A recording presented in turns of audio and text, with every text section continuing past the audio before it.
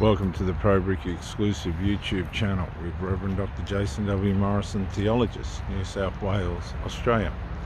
Intimate conscientiousness, something that we fail to really apply. And we misread the person that we're with. Um, it can also be um, intimate neglect in, uh, psychological intimate neglect. We're not prepared to use the mental muscle to navigate our relationship in a way in which it's going to grow and flourish. The simple basic arts of um, performing in your relationship in a way in which you want it to build. Just in the medium here, this is a place called Gosford where they've allowed the Aboriginals to make this spectacular park. Uh, it's a, they've put this monument in for the Aboriginals with stone fish and turtles and, and these symbols. In the background there, just by coincidence, is the moon. It's interesting, isn't it? Back to the video. See, Life, as I said in the first video, has got a way of taking things from us. Physically, mentally and emotionally. That's not everybody's intention for that to happen.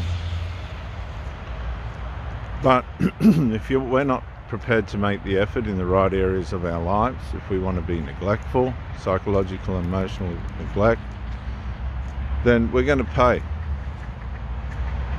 And we're going to pay in the areas that are important to us, in the areas of our relationships, and in the areas of love. We're just going to pay, that's all there is to it. It's just how it works. Fallen human nature's got a way of dealing with itself without mercy, particularly in somebody else. If somebody else is letting you down. You say, no, that doesn't happen to me. Well, why have you had to split up with people? Because they've pushed your tolerance to the point where you'd had enough.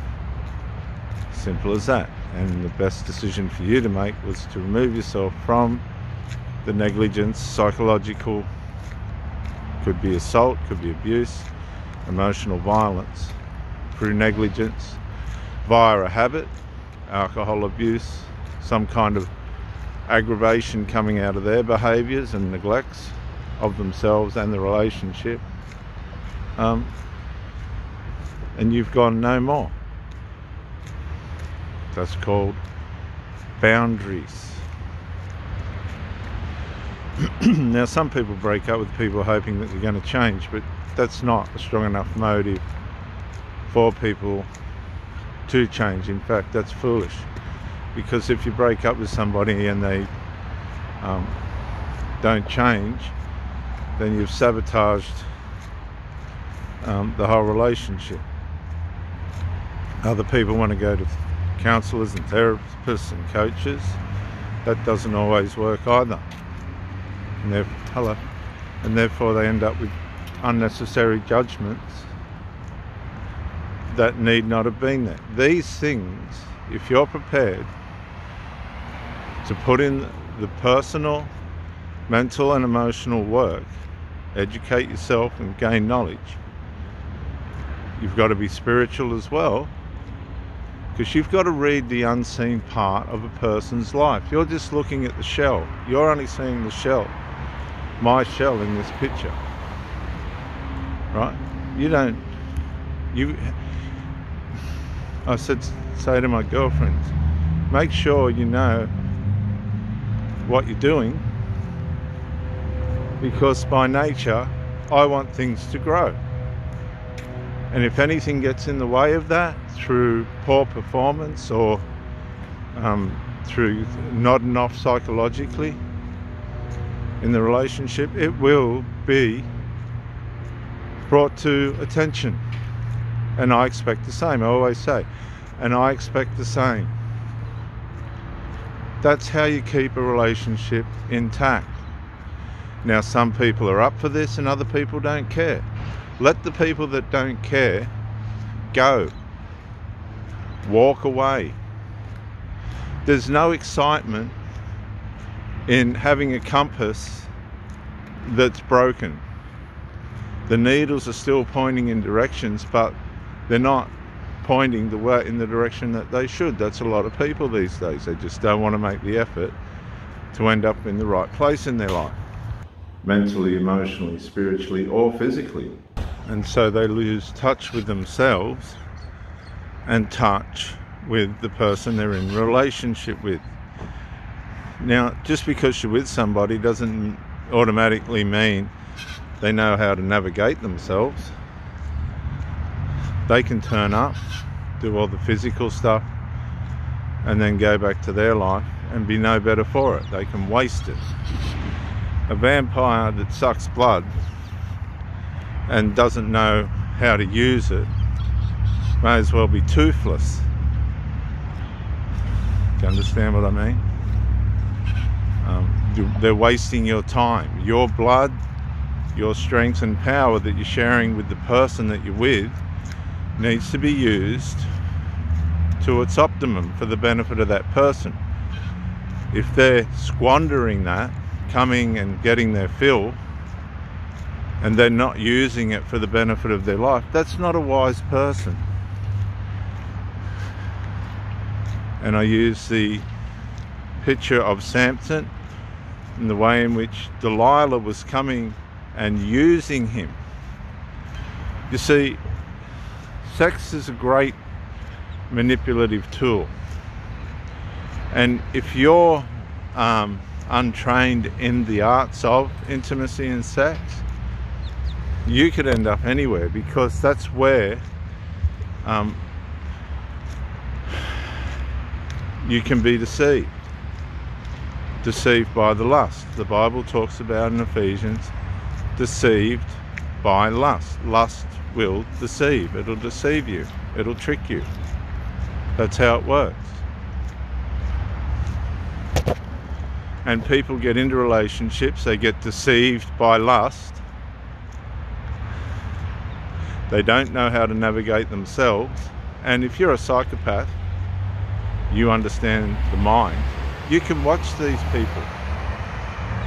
And you, you know they're not, they're, they are not navigating this relationship. They're just showing up. And so you can Have you seen Silence of the Lambs and the um, Anthony Hop, Hop, yeah, Anthony Hopkins plays the part of Lecter, a doctor, a highly intelligent man.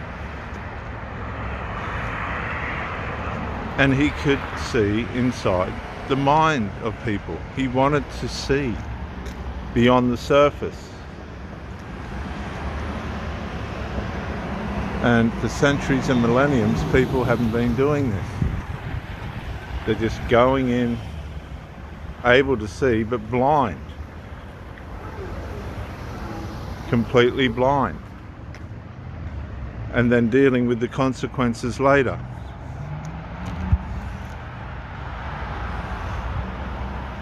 I'm trying to teach you that you can have a healthy, happy, fulfilled relationship without drugs and without fucking alcohol and all these demonic um, fuels that, that they just fuel lust. Right? You can tap into your deepest desires and um, most powerful dopamine supplies without alcohol and drugs. You know I mean? God's created the experience to be there through intimacy, unadulterated intimacy. Because once you start trying to add to God's chemical um, arrangement, good luck with that. The majority of it never works. Add to that ignorance in the arts of intimate navigation and you've got a cocktail for disaster. People end up in mental homes. They commit themselves to these dysfunctional people, and the next thing, it's just not working. It's just not right. There's no harmony or energy working in the area of um, evolution for the relationship. And the next thing you've got people that are frustrated, unhappy, um, not being listened to, in some cases being ignored, abused. And let me just say, one of the greatest weapons, and be, be aware of this, that an immature person, pathologically immature person, selfish person will use on you is the is the weapon of silence. And you need to be trained, psychologically trained in how this works because silence is one of the most powerful weapons anybody can use against you that you're connected to. If you don't know the weapon of silence, stonewall, silence, you are going to be psychologically maimed, at least manipulated in some form of damage. You'll be manipulated into some kind of psychological trauma, psychological damage.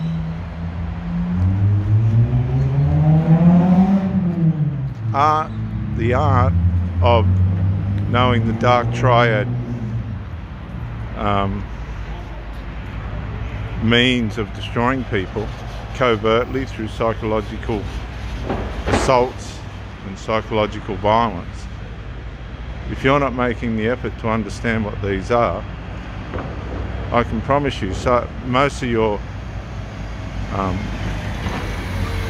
trauma that's been caused to you has been through ignorance of not wanting to know what they are and falling prey to these and let me say to these fallen human nature traits.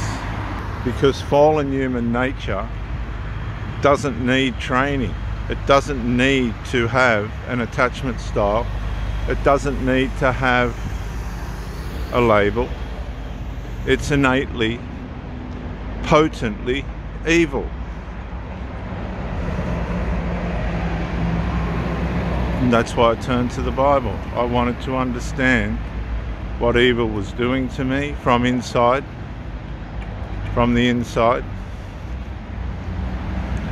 I wanted to understand how it was affecting me and I also wanted to stand, understand where I was using it to harm people subconsciously.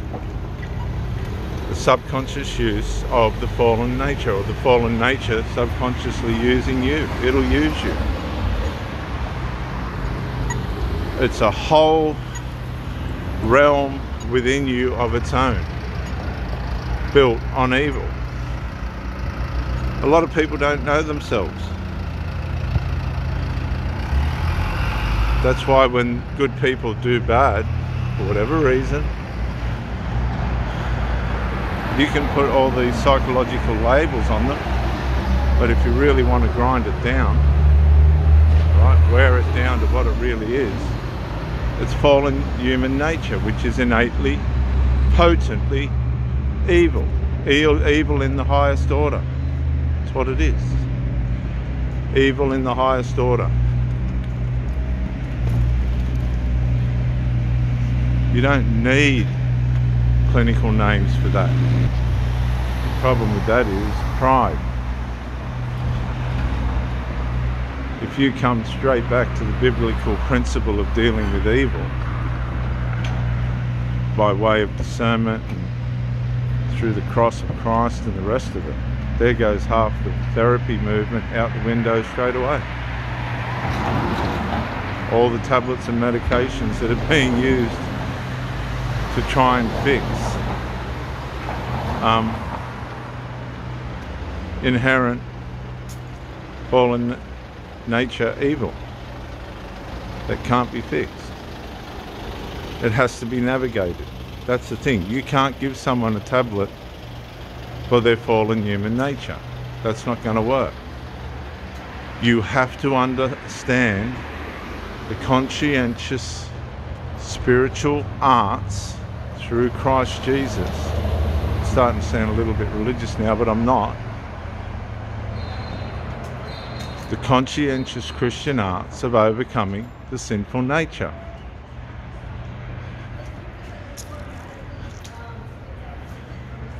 And the sinful nature cannot be fixed with tablets and medications and dope and alcohol. And once you understand how that works against you and the people that you love, you've got at least some hope.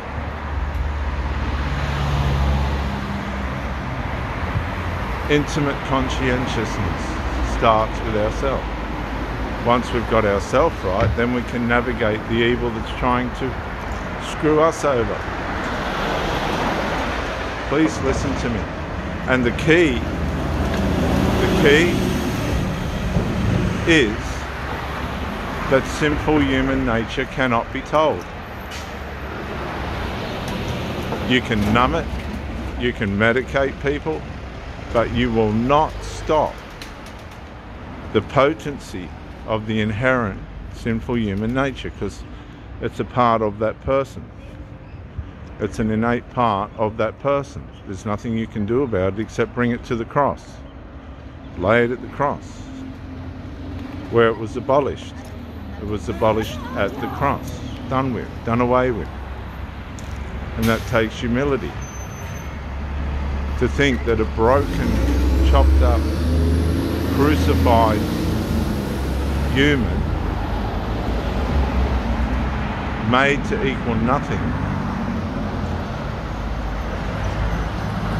is the answer to your problem. We don't want to kneel before somebody that's been brutalised and crucified. No, we'd rather kneel to our drugs. We'd not rather kneel to our alcohol. We'd rather kneel to our sex, fueled by drugs and alcohol. We'd rather yield to our unresolved. We'd rather yield to the um, manipulation and infantile behaviour of our children.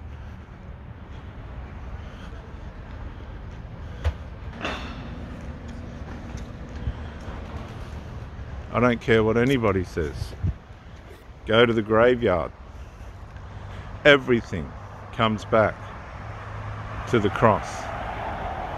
And if you know anything about Pitcairn Island, even they knew that. Some of the most degenerate people that have walked the planet.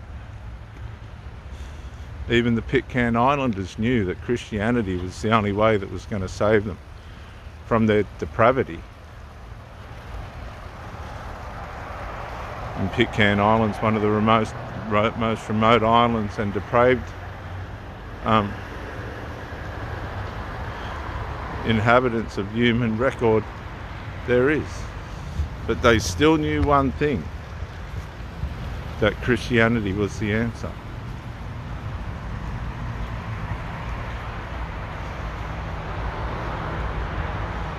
It's not going to stop evil coming at you but it's going to give you an intimate conscientiousness of yourself and of the person with you that you're with in a way in which you can work out where your relationship's going to end up.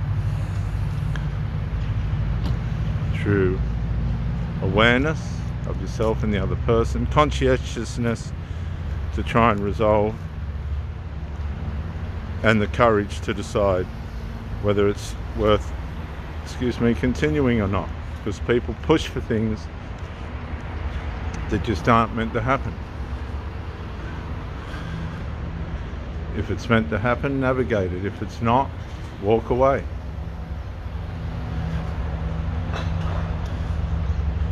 That's the power of it all.